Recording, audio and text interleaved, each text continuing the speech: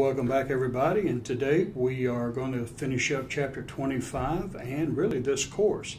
Today we're going to be looking at PowerPoint presentations. We're going to be looking at graphic aids, which means pie charts, bar graphs, line charts, and, and those things that will help you be able to better communicate your data. So let's go ahead and start today with the uh, ending portions of chapter 25. Okay, everybody, welcome back. And we are going to finish up chapter 25 and really this course as we take a look at some of the other elements that we will need to know to be able to present our data. Now, last time we looked at the research proposal, the prospectus, and the elements in it, uh, but this time we're going to take a look at how to present our data in a way that people can better understand what it is we're trying to communicate. Now, when we're looking at these types of aids, we're looking at graphic aids. And graphic aids, uh, again, this is not going to be anything profound today, uh, but we're going to be taking a look at just some basic ways to uh, put our data in a form that people can understand and graphic aids are pictures or diagrams used to clarify complex points or emphasize a message and should always be should always be interpreted in the text. So uh, when you're doing your graphics, whether it's a pie chart, a bar graph, uh, whatever it is, a table, uh, you should always be able to interpret your data in the text using these. Now tables, as we just mentioned, are the most useful for presenting numerical information, especially when you have several pieces of information that have been gathered about each item discussed. And then you have here the table number, titles, uh, stub heads, banner heads, footnotes, and source notes. Now, you have had plenty of tables to look at in the textbook. So, really, all you need to do is to go back and take a look at how data are presented uh, with tables in your textbook, but they give you a few examples here. The first one uh, talks about the parts of a table. You have at the top the table number, uh, the title. On the side here on the left, you see subheads and footnotes. So really you encapsulate your data, uh, what it is you're wanting to uh, represent or talk about, and where your sources are using this type of graphic aid. And here they're looking at total retail new passenger car sales.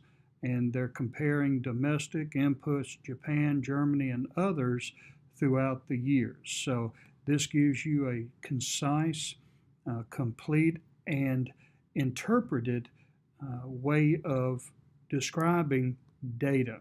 And again, there shouldn't be any room for doubt. You should know exactly what you're looking at by the way that the table explains data.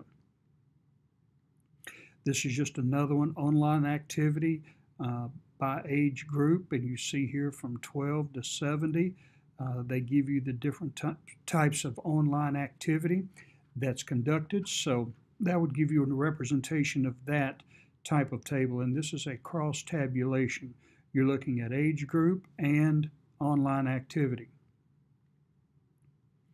Here you have a statistical test. You've seen plenty of those in our textbook, and this gives you from the business uh, to the advertising management, and then the formula and the outcome. And notice here too, on all of the slides so far, at the bottom you see what we see as the source, that your uh, resources, or those are your references. This is uh, several cross tabulations in one uh, table. You see here age, uh, sex, uh, which looks at the characteristic, and uh, you're looking at level of highest degree. And then you can go across from total persons to not a high school graduate to a doctorate. Now, charts, uh, when we're taking a look at graphic aids, translate numerical information into visual form so that relationships can be easily grasped. You have the figure numbers, the titles, explanatory legends, source and footnotes, and then uh, charts are subject to distortion, and they show you an example of that. but this is a uh, vertical scale, which means that they're going from bottom to up. And here you see web survey, mail survey, telephone survey, and customer satisfaction. So you're going from 1 to 10 on satisfaction, and it looks like they are all even uh, looking at the top scale.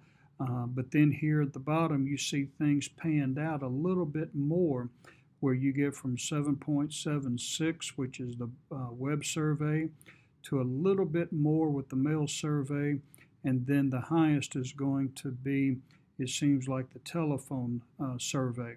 So uh, this is just a way of comparing uh, different variables uh, and representing those variables in a way that you can just clearly see and understand better.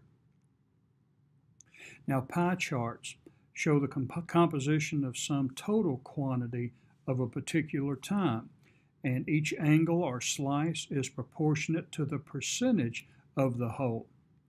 So as you see here, when you're looking at a simple pie chart, you've got the units sold and uh, the dark blue is 49% at full price, 19%, and then 32% with 50% off, 20% off with 19%, and uh, so forth. And here you can use uh, comparisons, U.S. energy consumption in 2004, uh, U.S. electric uh, generation 2004, and you just see here the different slices and how large the slice is. And of course, the larger the slice, the greater the percentage. Now, line graphs show the relationship of one variable to another. Uh, the dependent variable generally is shown on the vertical axis uh, and the independent variable on the horizontal axis. And then you have here a simple line graph, multiple line graph, and stratum chart, which we'll take a look at. This is a simple line graph. It just shows a linear uh, progression uh, from um, 1960, the billions of dollars spent has increased throughout the decades from 60 to um, right around the 80s it was fairly stable but from the 80s all the way up to almost uh, 2015 i would estimate uh, it skyrocketed. And here you have median age of mo uh, motor workers or motor vehicles. You have a multiple line graph which shows you uh, comparisons uh, and here they show a comparison of cars and light trucks to the median age and um, uh, when it looks at years. And you see here that um, uh, cars have increased while there's been a dip in light trucks uh, around 2001. Uh, but it looks like it's bouncing back or is at least stable as of 2005. Stratum chart, as you can see, are like waves, and these will show you the same thing. They're just showing you percentages uh, of the um, uh, of whatever it is they're looking at, and here the cost of regulation. In uh, environmental reg uh, regulation, you probably uh, see that at the top. That's the very top one. And then uh, the very bottom looks like paperwork, and it's just a variation um, uh, on this chart that you can use to compare how other things pan out in relation to uh, other elements that you see here on the chart. Bar chart is fairly simple. It's very common. And uh, this one uh, goes across a horizontal axis. Uh, teeth whitening bonding, 7%, a laser treatment for veins, and this is uh, adults who have undergone cosmetic treatment. And then the type of treatment uh, they indicate here. And then at the bottom you have footnotes. So this was this is how you would do a simple bar chart. The good thing about these things is that in Microsoft Word you can um, look it up or you can uh, uh, create bar charts or pie charts. Really, it's just a matter of plugging in the data and uh, uh, the computer will do the rest. And that's what I like about it. It's just the simplicity of it. Subdivided bar chart. This is uh, uh, showing you by the uh, height of the uh, variable how much of the bar it constitutes. So we see here 2000 average retail price, I guess, of gas, I would imagine, or oil, 1.48 a gallon, and 46% it looks like was crude oil, 28% of the uh, price is federal and state taxes and going on and so forth. And look at how it's increased at 2011. Uh, so 66% uh, of what we're consuming is crude oil, and uh, taxes and federal and state taxes have decreased, it looks like and everything else seems to have decreased too in 2011, other than the amount of crude oil that we're consuming. Multiple bar chart is again, you're just comparing uh, variables to from 2007 to 2008. Uh, these were the best selling cars, and at the bottom you see the legend, and this is what a legend is it's the uh, individual variables that make up that whole uh, composite, and you can compare how uh, cars were selling based on uh, make from 2007 to then 2008. Bar charts show changes in the value of a dependent variable. It's plotted on the vertical axis at discrete intervals of the independent variable, which, is, which will be on the horizontal axis, and then you have subdivided bar chart and multiple bar chart. Now, the oral presentation, it shouldn't come as a surprise to know that you need to look the part. If you are there in a professional business meeting, you need to be dressed in a business uh, type of um, uh, dress or, or suit. Uh, be prepared that means rehearse. I've seen people who come and they are not prepared, and it's a disaster. I have taught public speaking, and most of them don't even concern themselves about the speech until that morning. They may go around or go and rehearse it one time before they get up. Uh, so prepare and rehearse. One of the things that I have done when I was learning the really the basics of public speaking when I started having to do it. I would stand in front of a mirror and I would rehearse that speech. Now, you don't want to rehearse it verbatim. You want to go over it enough times that you are confident knowing what it is you're talking about. Uh, you can use bullet points, and the bullet points should not be there to be the speech, but it should help guide you in your speech. So, uh, going over it enough times so that you are comfortable with it to me is crucial. Adapt it to the audience. Know who your audience is. If you're not going to take the time to know who your audience is, then you're looking at a surefire way to have a bad presentation. If, and I've mentioned this before, if the people are already knowledgeable with uh, your material, uh, then don't try to go through the uh, basics of explaining everything and defining everything. They know all of that. What you need to focus on are the things that they're not aware of, that they need to know. Uh, don't read to the audience. Uh, one of the most frustrating things for me is to watch people who are presenting who never look up because they're constantly reading from a script. So make sure you know that material enough to where you're not having to just read it verbatim from a card or a sheet of paper. Use graphic aids effectively. They're there and they serve a great purpose, but there is a thing called overkill where it can affect the quality of your presentation. So use them to complement what you already know and what you're trying to point out.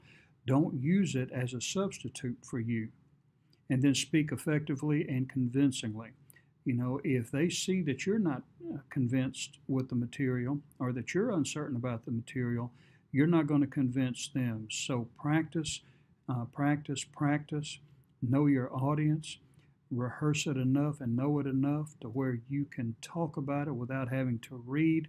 And again, use the graphic aids as a uh, way of highlighting or supporting what you have to say instead of being the focus of what you're saying.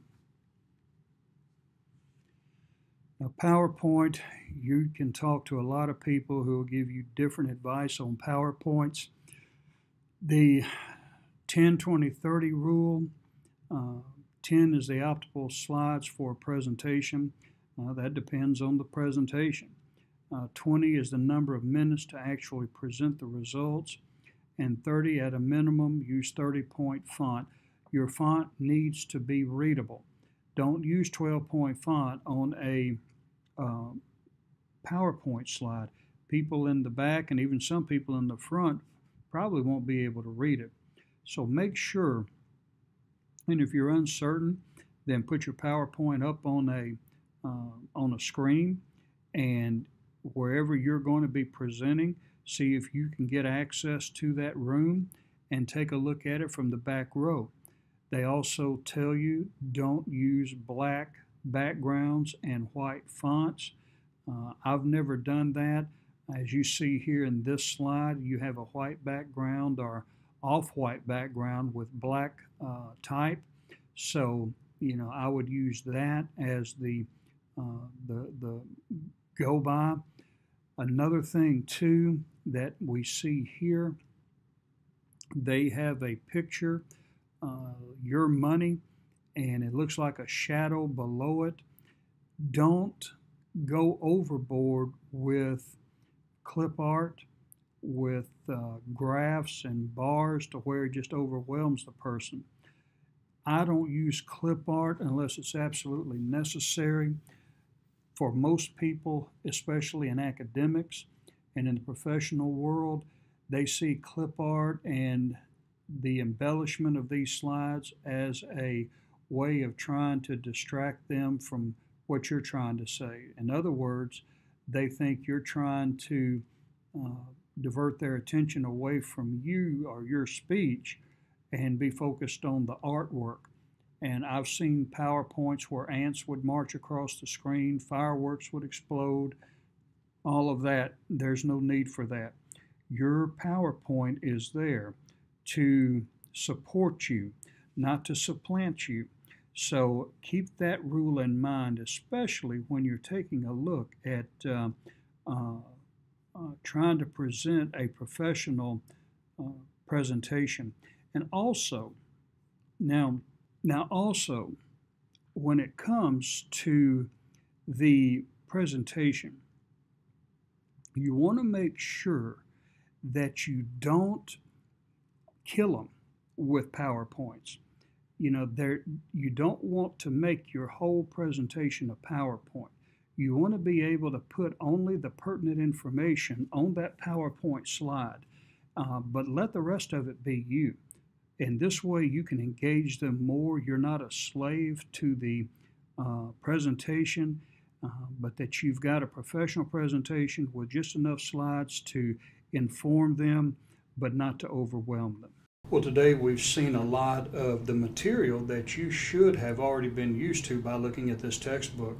Uh, we've seen plenty of tables, we've seen pie charts, we've seen statistical data represented in tables. So, what you have seen today is just really what we've been covering, uh, not only in this course, but probably other courses that you're used to. Well, that's all we have for today, and that's all we really have for this course. Don't forget to make sure that you are uh, prepared for the final exam. I've already indicated the uh, uh, instructions for that. Uh, you have the uh, final exam study guide already posted. So you take care. It's been a great uh, several months having you. God bless you in your endeavors, and hopefully, I'll have you again in other courses.